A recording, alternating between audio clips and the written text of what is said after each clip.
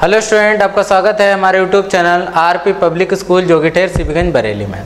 देखिए, जैसा कि हम आपके लिए लगातार वीडियो बना रहे हैं और निर्देशांक ज्यामिति आपका चैप्टर चल रहा है। तो यहाँ पर मैंने एक्सरसाइज सेवन पॉइंट जो टू चल रही है बेटा, उसमें मैंने क्वेश्चन कई बता दिए थे। तो इस बुक से मैं पढ़ा रहा हूँ, जो कि विद्या की बुक है, आपको पता है।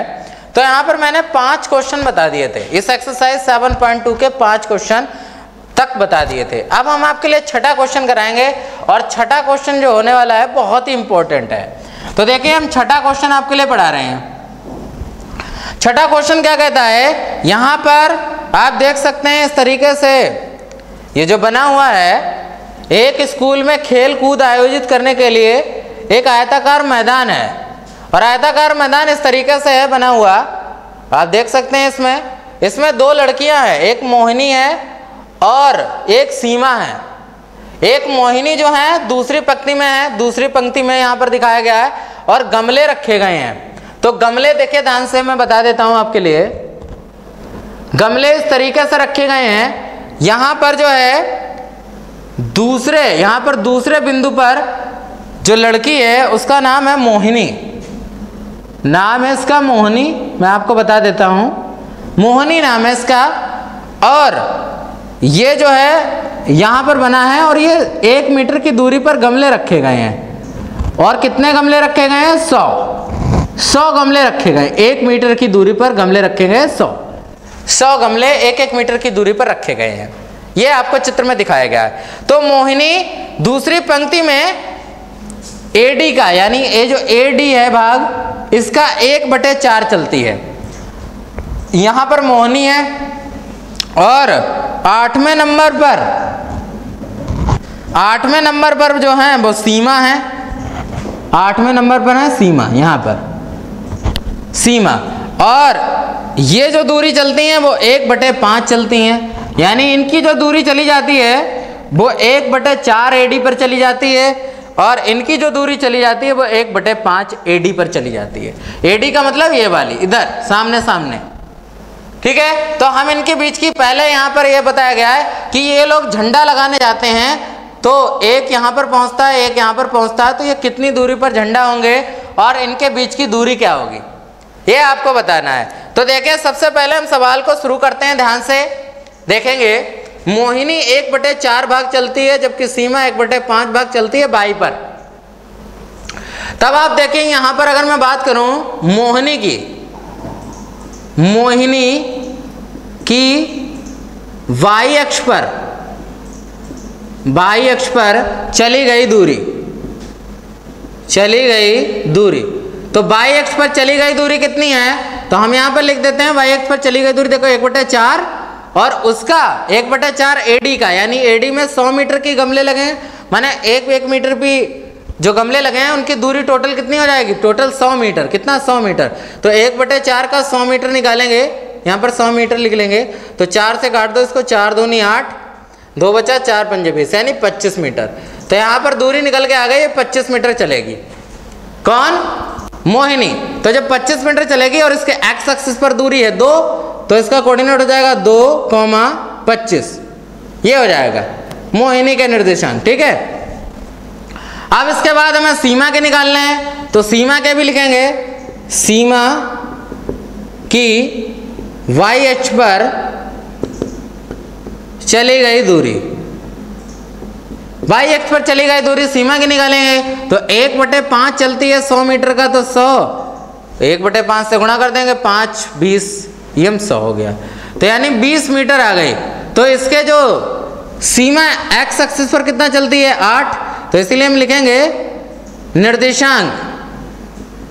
क्या हो जाएँगे? तो हो जाएगा आपके लिए आठ एक्स एक्सिस पर चली गई दूरी है। और यहाँ पर वाई एक्सिस पर चली गई दूरी है बीस। आठ कौ में बीस हो गया। अब हमें क्या करना है? अब हमें इनके बीच की मध्य दूरी निकालनी है। यानी इनके बीच की जो दूरी होगी, वो आधी दूरी निकालनी है। आर्ध बिंदु यहाँ पर निर्देशांक एक्स कॉमा वाई निकालने हैं। आप जानते हो इनके इनके बीच की मध्य दूरी कैसे निकालते हैं? तो हम लिखते हैं यहाँ पर, बीच मध्य मध्य बिंदु। क्या निकालेंगे? मध्य बिंदु। तो मध्य बिंदु का फार्मूला होता है x one plus x two बटे में दो, comma y one plus y two बटे में दो। ये होता है। तो इसको करेंगे, देखिए ध्यान से, हम कोऑर्डिनेट लिख लेते हैं। पहले का है दो कॉमा पच्चीस, दूसरे का है आपके लिए आठ कॉमा बीस। अब इसको x1 वन मानेंगे, इसको y1 वन इसको x2 टू मानेंगे और इसको y2 टू अब क्या करेंगे? अब सिंपली इसमें रख देंगे और मान निकाल लेंगे। तो x1 का मान है दो और प्लस x2 का मान है आठ बटे में दो कॉमा ऐसे ही पच्चीस प्लस बीस बटे में दो। तो आप निकाल लो आठ दो दस का। दस हो गया और बटे में दो कॉमा पच्चीस बीस यहाँ पर हो गया पैंतालीस बटे में दो। ये हो गया। तो दस बटे दो का मतलब है पाँच। और यहाँ पर दो से काट दो, इसको दो दूनी चार, या पैंतालीस बटे दो ही लिख दो, कोई दिक्कत है नहीं।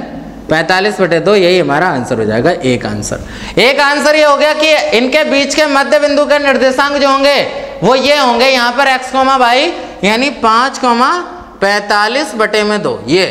अब इनके बीच की दूरी भी निकाली है बीच की दूरी कितनी होगी? तो बीच की दूरी भी मैं निकालना हूँ। देखिए ध्यान से, क्या होता है बीच की दूरी में? यानी हम लिखेंगे बीच की दूरी। बीच की दूरी। रूट के अंदर x2 two minus x one x two का मान है आठ माइनस एक्स वन का मान है दो। आठ माइनस दो का स्क्वायर और फिर है y2 two minus y one y two का मान है बीस।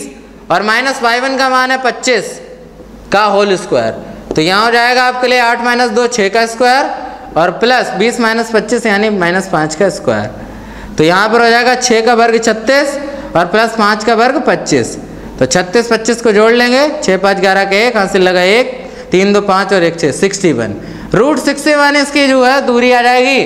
तो यही आपका आंसर हो जाएगा एक, ये मध्य बिंदु के निर्देशांक और ये दूरी, ठीक है ना? तो ये आप समझ लीजिए, ये आपका आंसर हो जाएगा। अब बात करते हैं अगला क्वेश्चन की। देखिए, अगला क्वेश्चन क्या है?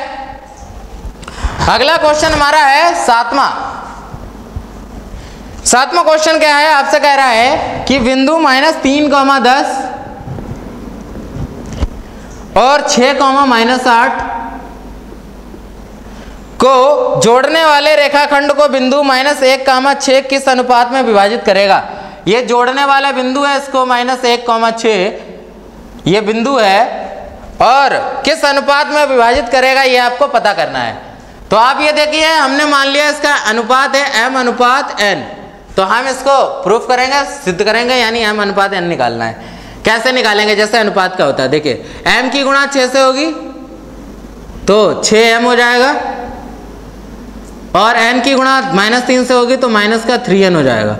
और बटे में एम प्लस एन बराबर। पहला कोऑर्डिनेट क्या दिया गया? माइनस वन तो इसके बराबर हो जाएगा माइनस वन के इक्वेशन नंबर वन इसी तरीके से एम की गुणा आठ से हो जाएगी माइनस आठ से तो माइनस का आठ एम माइनस का आठ एम और और ये एन की गुणा हो जाएगी दस से तो दस एन और बटे में एम प्लस एन समीकरण और यहाँ पर बराबर में छः आ जाएगा दो। अब क्या करेंगे? अब बेटा ये करना है आपके लिए, किसी भी समीकरण को बराबर रख दो और एम और एन का अनुपात निकाल लो। तो हम पहले समीकरण को रख देते हैं। ठीक है? तो पहले समीकरण को यहाँ पर रख देंगे। तो आप देखिए क्या हो जाएगा। छ एम माइनस तीन एन और बटे में एम प्लस एन बराबर में माइनस एक। क्रॉस मल्टीप्लाई कर दो तो छ एम माइनस थ्री एन बराबर में minus one into m plus n अब यहाँ पर इसको सॉल्व कर लेंगे six m minus three n बराबर में माइनस एक की गुणा हो जाएगी तो माइनस का एम और माइनस का एन हो जाएगा। तो सिक्स एम ये माइनस का एम इधर ले आओ प्लस का एम हो जाएगा, और बराबर में माइनस का एन है और थ्री एन उधर चला जाएगा तो प्लस का थ्री एन हो जाएगा। तो यहाँ पर देख सकते हैं आप, ये आ गया छ एम और एम कितना आ गया? सात एम बराबर में। ये आपके लिए प्लस का तीन एन आ गया और माइनस का एन था ही था, तीन में से एन में से एक एन चला जाएगा। तो बचेगा दो एन और एम यहीं रखेंगे एन को नीचे ले आएँगे। एम अपॉन एन बराबर टू अपॉन सेवन ये आपका अनुपात हो जाएगा, यानी एम अनुपात एन लिख सकते हो आप, दो अनुपात सात। ये आपका जाएगा। अगला सवाल क्या है यहाँ पर? हम आपके लिए बताते हैं। आठवां सवाल। देखिए। आठवां सवाल ये है कि वह अनुपात ज्ञात करिए जिसमें बिंदु ए है, वन कॉमा माइनस पाँच, और बी बिंदु है एक माइनस चार कॉमा पाँच। ये है। अब आप क्या करना है? रेखाखंड एक्स अक्ष से विभाजित होता है। अगर ये रेखाखंड एक्स अक्ष से विभाजित होगा इसका मतलब एक्स कोऑर्डिनेट तो होगा, लेकिन वाई कोऑर्डिनेट क्या होगा? ज़ीरो वाई कोऑर्डिनेट ज़ीरो होगा। तो हमें यहाँ पर निकालना है कि ये किस अनुपात में विभाजित करेगा। तो अगर हमने इसका अनुपात मान लिया, m अनुपात n में विभाजित करता है। m अनुपात n में विभाजित करता है तो उसका निकाल लेंगे कोऑर्डिनेट कैसे निकालेंगे? देखिए ध्यान से। पहले हम यहाँ पर, देखिए आप, x वाला है, x वाले के साथ लिखते हैं, m इंटू माइनस चार। तो माइनस चार एम और n की एक से तो एक n, बटे में m प्लस एन बराबर एक्स ये आ जाएगा। समीकरण नंबर एक। इसी तरीके से ज़ीरो वाले के लिए करेंगे m इंटू पाँच। तो पाँच एम और n की गुणा माइनस पाँच से। तो माइनस का पाँच एन बटे में m प्लस एन बराबर ज़ीरो। अब आप ये सोच रहे होंगे कि क्या हम पहले समीकरण से मान निकाल सकते हैं, अनुपात निकाल सकते हैं? तो पहली समीकरण से नहीं निकाल सकते। क्यों? क्योंकि x है। आप दूसरी समीकरण से निकाल सकते हैं तो आप समीकरण दो का यूज़ करें। समीकरण दो से।